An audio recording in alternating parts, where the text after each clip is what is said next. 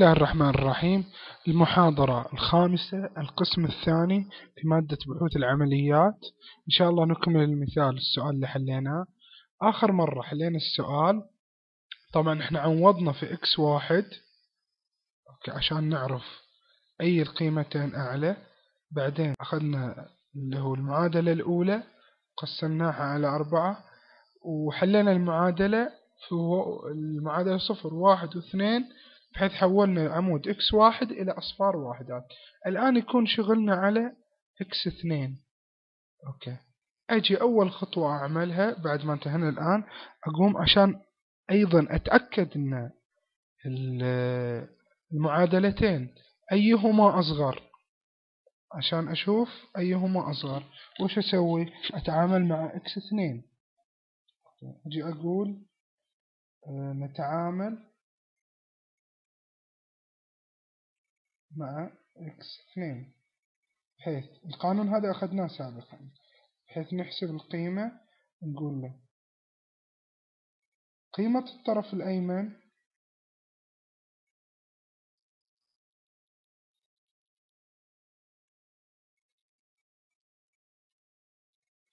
على معامل إكس اثنين.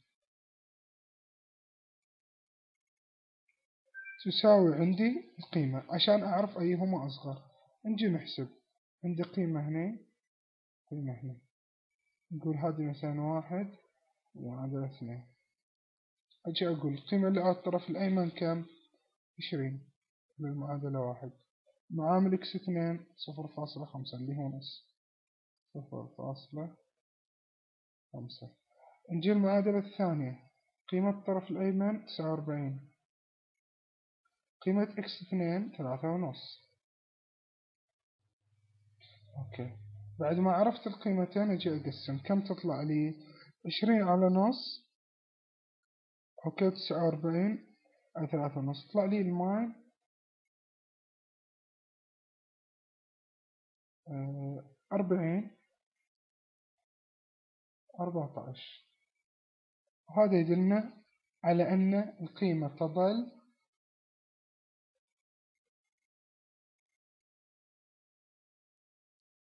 كما هي.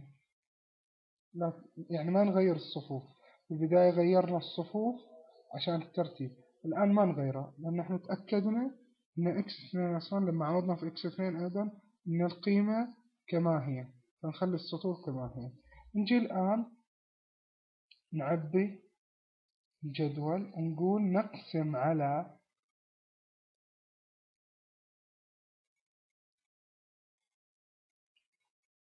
على المعادلة اثنين.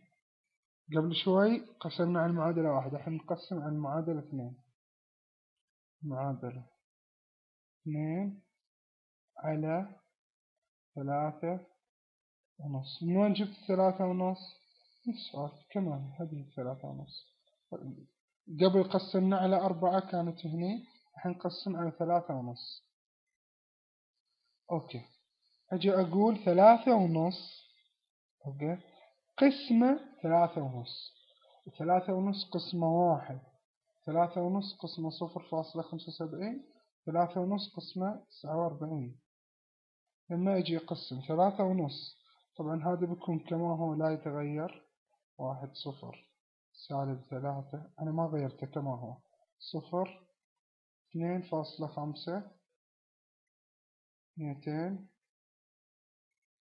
هذا أيضا كما هو صفر واحد صفر فاصلة خمسة صفر صفر فاصلة خمسة وعشرين. هذا عشرين قلنا اللي بيتغير السطر الأخير. نقسم ثلاثة ونص على السطر الأخير. ثلاثة ونص قسمة ثلاثة ونص. هذا كما هو طبعا. ثلاثة ونص قسمة ثلاثة ونص واحد. ثلاثة ونص قسمة واحد تصير واحد على ثلاثة ونص. ثلاثة ونص قسمة سالب صفر خمسة وسبعين تكون سالب صفر سبعة خمسة اكتبها كما هي قسمة ثلاثة ونص. أوكي. ثلاثة ونص عفوا تسعة وأربعين. اللي هي هذه؟ قسمة ثلاثة ونص. يكون الجواب أربعة عشر حلينا الجدول قسمنا. الآن نجي نقوم بالمعادلة. نقول عشان نغير القيم الحين هذا عندي واحد. عشان أغير قيمة هذه وهذه. أوكي أقوم وش أسوي؟ أقول أخذ هذه بإشارة معاكسة. طبعا أقدر أبدأ فوق أقدر أبدأ بصفر. ما يفرق يعني المفروض أقول سالب صفر فاصلة خمسة في إكس اثنين أوكي. زائد المعادلة رقم واحد. نكتبها في المعادلة رقم واحد. أوكي. نجي نعبي الجدول واجب أكتب اللي تحت كما هو. واحد واحد على ثلاثة ونص صفر فاصلة سبعة خمسة سالب ثلاثة ونص. أوكي. أجي أقول الحين. سالب صفر فاصلة خمسة. سالب صفر فاصلة خمسة. أوكي. ضرب. واحد يساوي سالب صفر فاصلة خمسة. زائد صفر فاصلة خمسة يساوي الجواب صفر. فأجي أكتبه صفر. طبعا هذا ما يتغير. صفر واحد. الجواب عندي صفر. ليش؟ لأن سالب صفر فاصلة خمسة. ضرب واحد يساوي سالب صفر فاصلة خمسة. زائد صفر فاصلة خمسة اللي هي هذه يكون الجواب صفر. سالب صفر فاصلة خمسة ضرب واحد على ثلاثة فاصلة خمسة زائد صفر. فأجي أقول سالب صفر فاصلة خمسة ضرب واحد ثلاثة فاصلة خمسة. توحد المقامات فتصير سالب صفر فاصلة خمسة على ثلاثة فاصلة خمسة. أجي أكتبها. سالب صفر خمسة على ثلاثة فاصلة خمسة.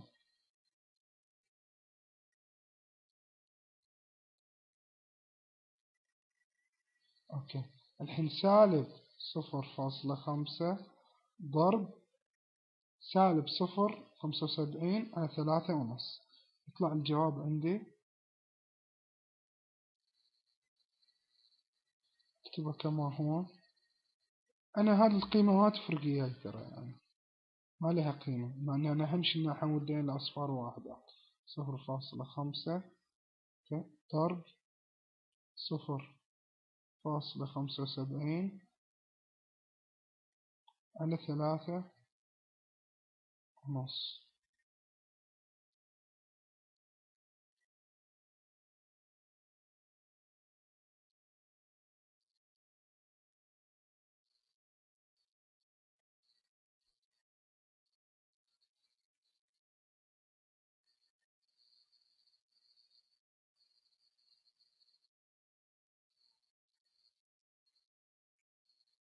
أوكي أجي للقيمة الأخيرة كما هي. أقوم أقول سالب صفر فاصلة خمسة ضرب أربعة يساوي سالب سبعة. زائد عشرين يساوي ثلاثة هذا يساوي سالب سبعة. زائد عشرين يساوي ثلاثتاش سالب صفر خمسة من هنا. إكس ضربناها في إكس اثنين اللي هي أربعتاش. هذا آخر عدد. ثم زودناها على المعادلة رقم واحد اللي هي هذه العشرين أوكي. فالجواب 13 فأكتب الجواب 13 طبعا هذا الجواب كما هو ما نغيره بما أنه من السابق غيرنا هذا. يبقى عندنا الصف الأخير. اللي هو زد. أجي أقول ثلاثة ضرب. ثلاثة من وين جبتها؟ هذه سالب ثلاثة. فأخذناه بثلاثة بإشارة معاكسة عشان نحولها إلى قيمة صفر. ثلاثة ضرب.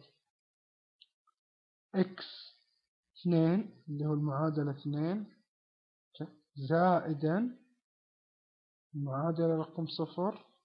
تحول بنا إلى المعادلة رقم صفر. نقوم نحل في هذه الشكل. نقوم نقول ثلاثة. ضرب واحد. اللي في إكس ثلاثة ضرب واحد. ثلاثة. زائد سالب ثلاثة يساوي صفر.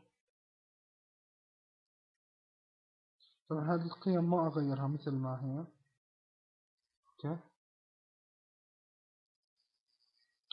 الحين أقول ثلاثة ضرب واحد على ثلاثة ونص أوكي. زائد صفر تصير ثلاثة على ثلاثة ونص.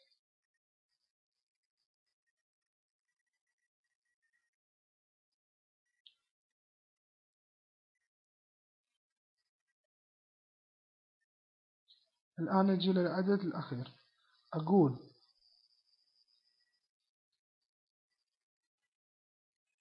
ثلاثة ضرب صفر فاصلة خمسة وسبعين على ثلاثة ونص زائدا اثنين ونص. يكون الجواب سالب ثلاثة ضرب صفر فاصلة خمسة وسبعين على ثلاثة ونص. ما يحتاج إني أجاوب عليه ما له قيمة زي ما قلنا. اثنين أربعة اثنين. أنا الآن حولت كل هذه الأشكال والأعداد عناصر حولت العناصر هذه إلى مصفوفة. الآن حولت هذه العناصر إلى مصفوفة. مصفوفة وحدة. هذه المصفوفة الوحدة. الآن بما أن الأعداد طلعت عندي القيم خلاص. أنا أعرف الآن أي آه، أي أيهم القيمة العظمى. بالطبع القيمة العظمى هي 242 لأنها أكبر عدد فيجي أقول الحل. الحل. x واحد تساوي 13 x اثنين تساوي 14 أوكي. زد تساوي اثنين أربعة اثنين.